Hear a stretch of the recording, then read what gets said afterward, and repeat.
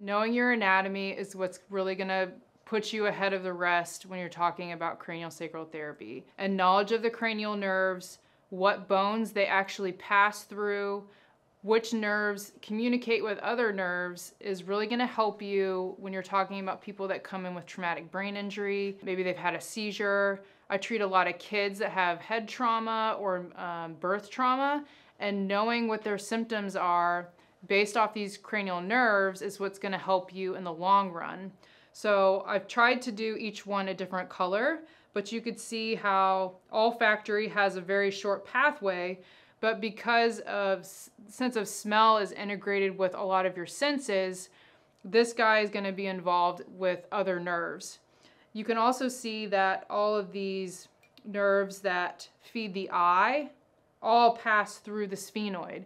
So if you have someone coming in with things like double vision, difficulty with accommodation with um, distance versus uh, proximal, eye tracking position, nystagmus, sphenoid is going to be a huge bone that you're going to go look at and potentially treat to help them with some of that eye dysfunction. If you look inside the skull, there's this bone called the petrous ridge that is part of the temporal bone. The petrous ridge is what houses the inner ear. But the cool thing about this temporal bone is there are nerves, these cranial nerves that actually attach to or pass over this petrous ridge that have nothing to do with the inner ear. So you may be treating a lot of temporal bone, but it has nothing to do with the inner ear. They all come off of the brainstem except for olfactory and um, ocular. This ocular nerve, you have to remember that it decussates, it crosses so that it uses input from both eyes and actually crosses and then comes back to the posterior skull. So they may have an impact on the right side of the right side of the head, but they're having all left eye symptoms. So again, knowing your anatomy is gonna be a huge big bang for your buck. Another really important piece, I think, is the trigeminal nerve. The trigeminal nerve is, is huge. It's um, in three branches, V1, V2, and V3, so it innervates the face um, V1, V2, V3. But V2 has an extra branch. It's called the meningeal branch that actually comes way down inside of the skull and innervates the meninges.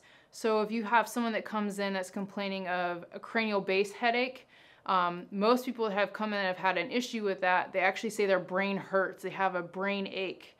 That's that meningeal branch is being compromised somewhere along its track. There's also a ring that's inside of the orbit that holds all of your cranial nerves. It keeps them in a nice tight bundle except for abducens. So abducens is actually the longest cranial nerve within the cranium and it can give you a lot of issues with being cross-eyed, nystagmus. So knowing that that nerve is separate from the rest of the eye nerves could be important.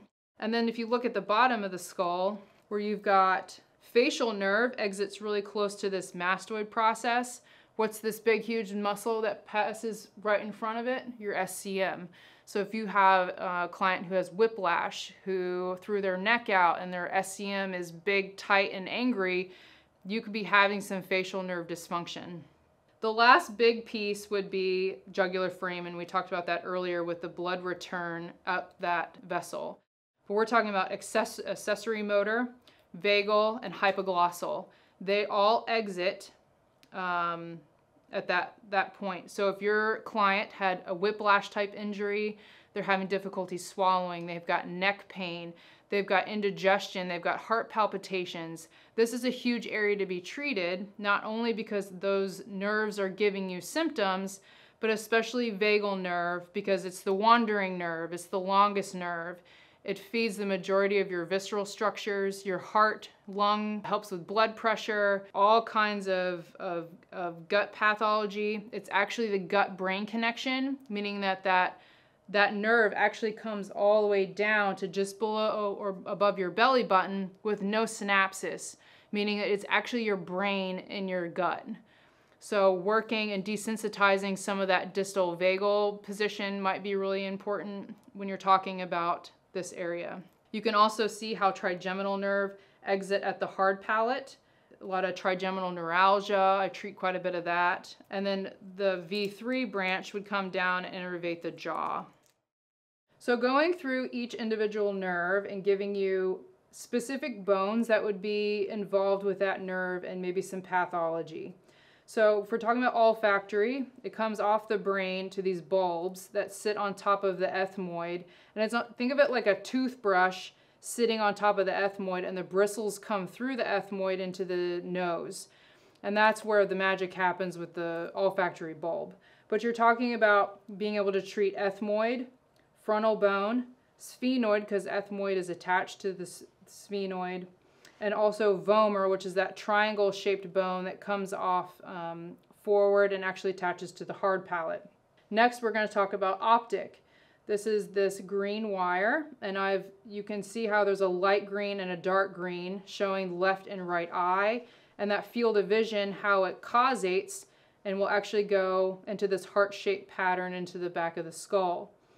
Mostly you're talking about sphenoid as this big huge nerve passes through this upper foramen of the sphenoid and into the eye. You would also want to check the all eight bones of the orbit because that would affect not only sphenoid position but also the position of the eyeball.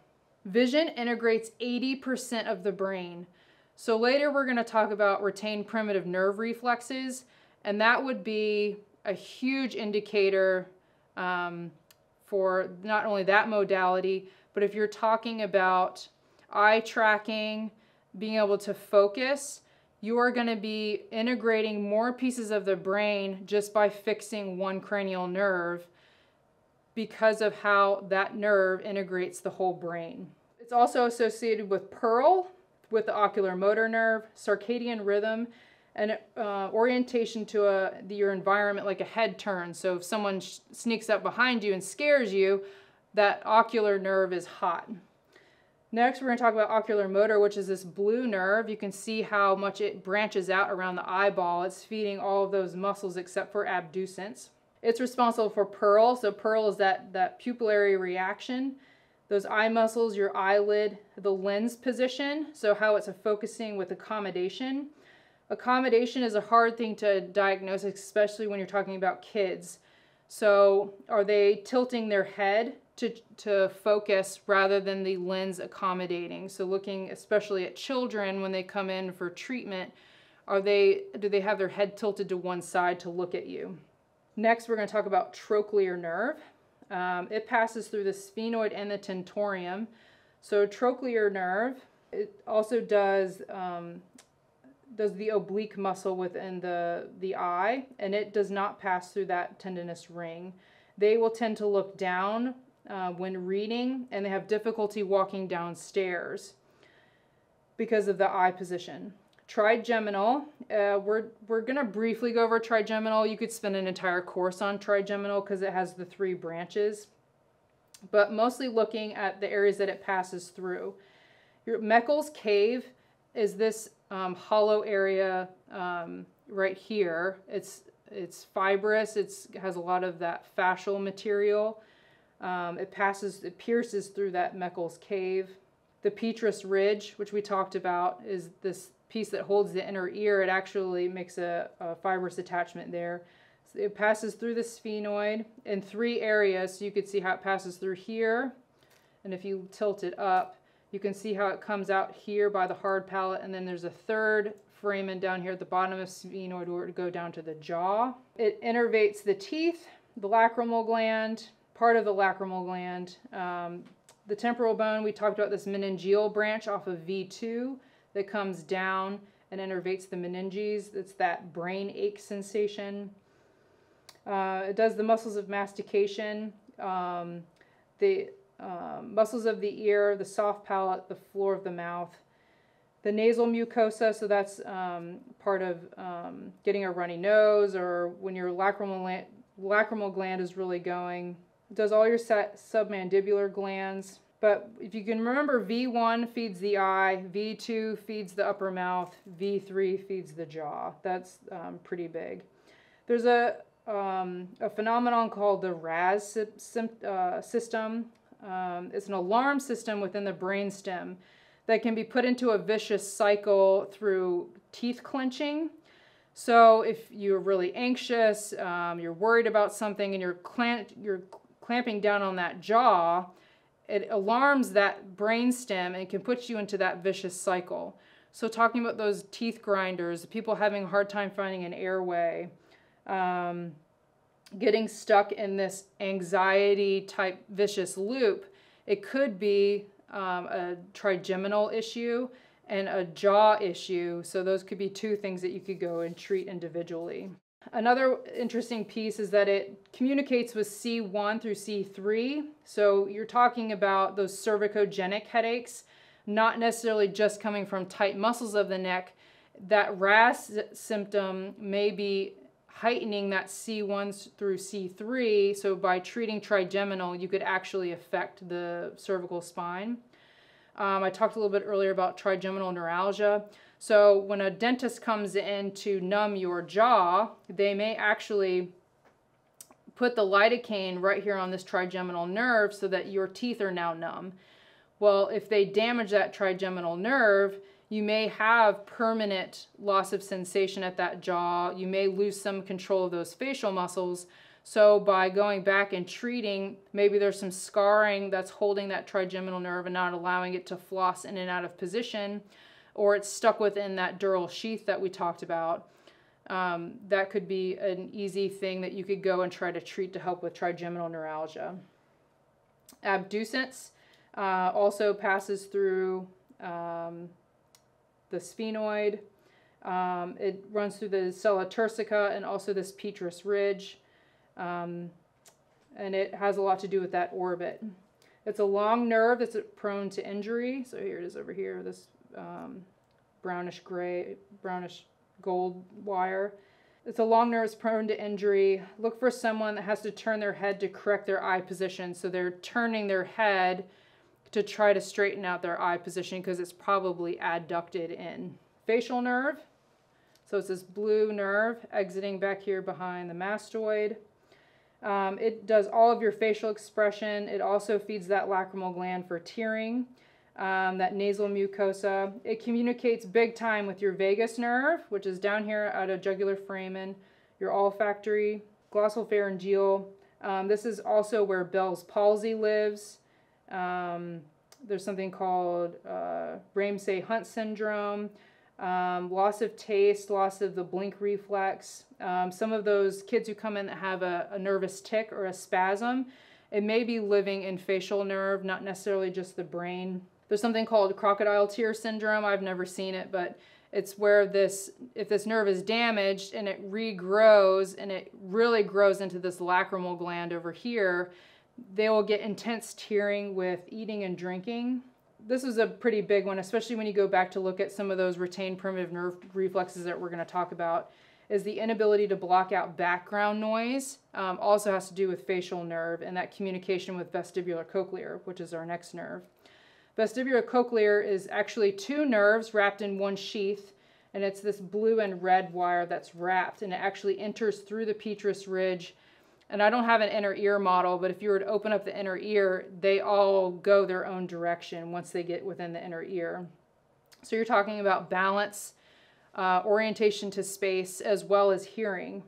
Um, those semicircular canals uh, innervates all of those, so you knowing if you're standing, laying down, or if you're turning.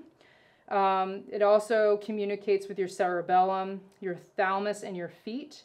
It also communicates with the facial nerve, the trigeminal nerve, this gold nerve again, and your TMJ, basically because of that TMJ position right there on the temporal bone.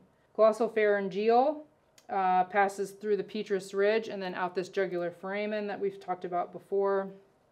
It's responsible for the gag reflex, the majority of the sensation of your tongue, posterior tongue for bitter and sour. Accessory nerve is the only nerve that starts outside the cranium and then goes to the brain. It starts on your upper uh, five cervicals, then it enters through foramen magnum, communicates with the brain, and then it comes back out jugular foramen. So you could see how a neck injury could greatly impact your um, accessory nerve. And I would go to argue that a lot of people that come in that have chronic neck pain chronic spasming of their neck have probably damaged this nerve in some way, and cranial would be a huge bang for their buck um, in treating that.